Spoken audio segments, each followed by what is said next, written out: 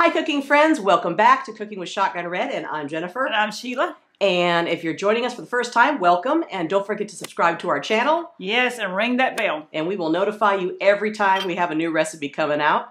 And give us that thumbs up if you enjoy. And welcome back to all of our regular subscribers. And this recipe today is a staple down in the South. So we're going to take you back and show you how it's done.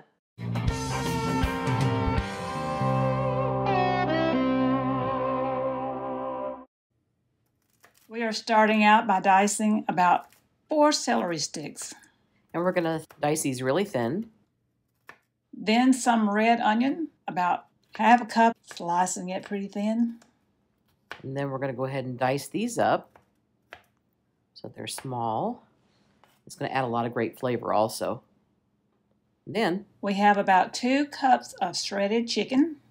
And this is pre-cooked chicken. Now you could use a rotisserie chicken or you could pre-cook it yourself, but I like to start out by seasoning the meat.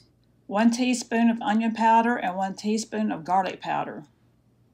Sprinkle that in. And this is a staple for us. We always use garlic powder and onion powder. So we'll mix that in. Stir it in good. Completely coating it. Then one teaspoon of salt, half a teaspoon of pepper, and half a teaspoon of paprika. And this is just your regular paprika. I mean, you could use smoked, but I'm just using the regular one here. We're getting some flavor in here. Absolutely. So I'm going to reserve just a little bit of this because I'm going to use it a little later. So mix those seasonings in too. Blend all that together. Make sure that it's coated. And then adding the diced celery that we diced up earlier. That's going to give it a nice crunch. And some crumbled up bacon. Gotta have bacon. Ooh, this is to be good. Yes. And this pre-cooked bacon. Really good. Toss that around a little bit. Can't make a great southern dish without some bacon. No, that's right. You can't. Gotta have some bacon. We love bacon. That's right. So now we're going to add half a cup of diced red onion and put that in there. Fourth cup of shaved almonds. Ooh, I love almonds. And this is just like your salad toppers. We just got it. They were already shaved, ready to go. Simple. But it adds a little crunch in there as well. That's what makes a great chicken salad. I think so. Talking about some flavor here. Mm, it's going to be good. Mm-hmm. So we're going to mix all that together and then some lemon juice. And this is about one teaspoon of lemon juice. And that's going to also add a really nice flavor. So we're going to combine all that together. Half a cup of mayonnaise. Then we've got half a cup of sour cream add that in. Now, some people like to add in some uh, cream of chicken soup, but I personally just like the sour cream and the mayonnaise. To me, it makes it easier to slice the pie, but if you want to add the cream of chicken in there, you can. It's an option. So we're just going to mix that right in here. Well, look at you go, Jen. That's right. Put it on fast forward. She's going to get this done. Speed stirring. you know we got to have some cheese. That's right. One cup of shredded cheddar. And we'll reserve a little bit. Leave a little bit, though, for later. That's right. We'll mix that in, and that's going to help keep everything together as well. So once we get all that in there and completely combined, we are just going to take it and set it aside and work on our pie. Then we have some refrigerated pie crust. And these are room temperature pie crusts. Just roll it out, put it in the pie dish. And we're just going to gently press that into the pie dish, kind of shaping it around. And this is a pretty deep pie dish, so um, I'm going to need a little bit more because I want to do some fluted edges. So we have the second pie crust in the box already. And so I'm going to go ahead and use that to make my fluted edges. Unrolled the second pie crust and cut out a large circle. Yeah, just take it around the edges here. And I will use this other section for some other some other recipe or I'll make some meat pies or something with it. So we're just going to take this off. And these refrigerated pie crusts are fairly inexpensive. We'll save that for later.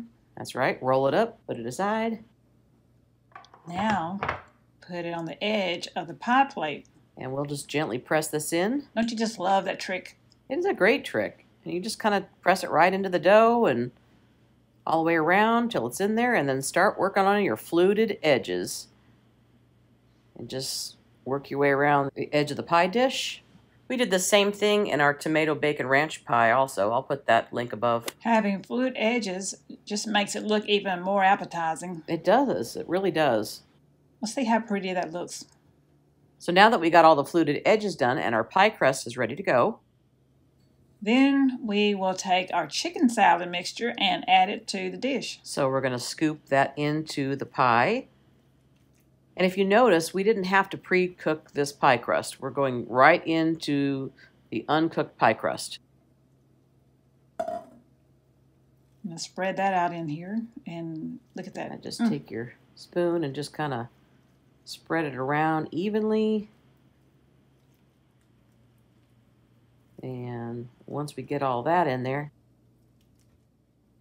we're going to take the remainder of our shredded cheddar cheese and sprinkle that on top You know how we like cheese too. We like bacon, cheese, and butter. because everything is better with cheese. Once we get all that shredded cheddar on there, then we went and picked up some Ruffles cheddar and sour cream flavor, and that's going to add a great flavor to the top. Now, some people just use plain Lay's potato chips, but I like the cheddar and sour cream. We slightly crumbled up some, so we will place them on top of the pie. And this is about a cup of them. And just crumbling those up like bite size. This is going to add a lot of flavor and some crunch also to the top of the pie, which is great. So once we get all those laid out on top, Our oven is preheated to 375 degrees and we're going to place this in the oven uncovered for now.